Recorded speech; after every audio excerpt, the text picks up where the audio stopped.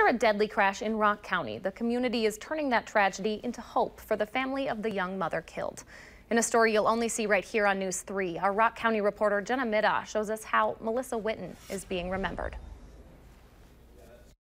Amid the hustle and bustle of the Janesville Winter Farmers Market, one booth stood out among the rest. She was just you know, always such a positive person, always smiling. Melissa's dream was to be at the farmer's market, a stay-at-home mom, and this was her new job. She did start at the market when she was eight months pregnant, gave birth the next week, actually.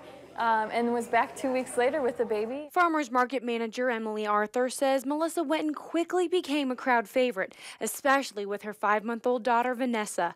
But a tragic car crash on November 16th ended Melissa's dream too soon.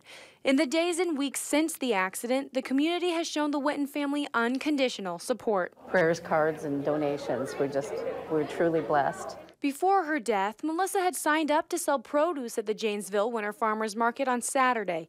And after the accident, the market wanted to carry on her legacy. We went and collected all the extra produce that they had um, just to help the family out. The money raised from selling the pumpkins, potatoes, and squash will go back to the Whitten family. And while it's hard for Melissa's mom, Lisa, to be here without her daughter, I'm happy to be here. I'm a crier, so yeah, I've cried a lot, but that's okay.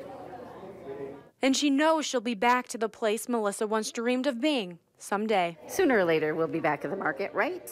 Right. Right. In Janesville, Jenna Middaugh, Big stretch. WISC News 3.